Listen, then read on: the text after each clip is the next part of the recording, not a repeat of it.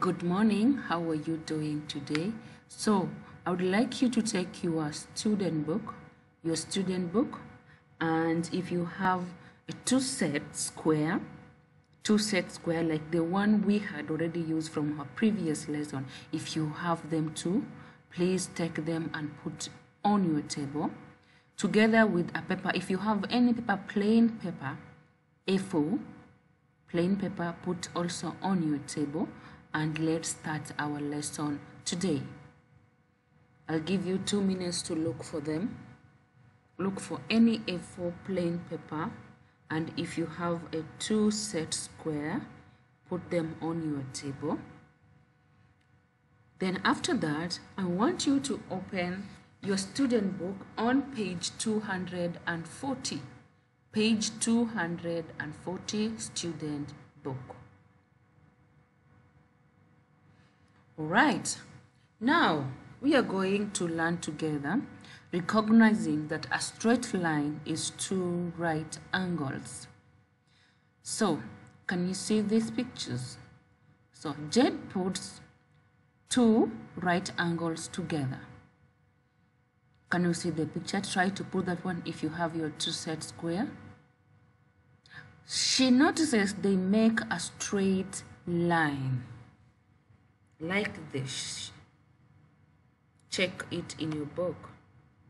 So, if a right angle measures 90 degree, then two right angles make 180 degree.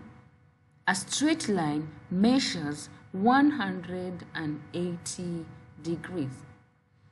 A straight line measure 180 degrees. Are we together? Are we together? Okay. Now let's check this one. So do you have that paper? I want you to cut it and make square. Do you know how square look like? Make a square. After that, mark the right angles like this. Mark the right angles like this. Are you there? Okay, I will just give you two minutes to do that and then we'll continue.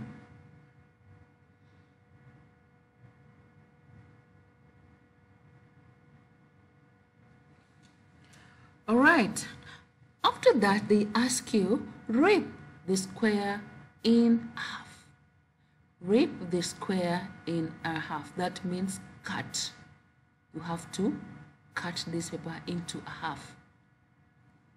So, and ask place the two parts of the square next to each other so that the two right angles meet. Let's see you place like this after you rip like this you put one this side and put this one this side. It will be straight line like this. So you have made a straight line out of two right angle. And they said a straight line measure 180 degrees. Okay? So we have finished our book a math book. So have a lovely day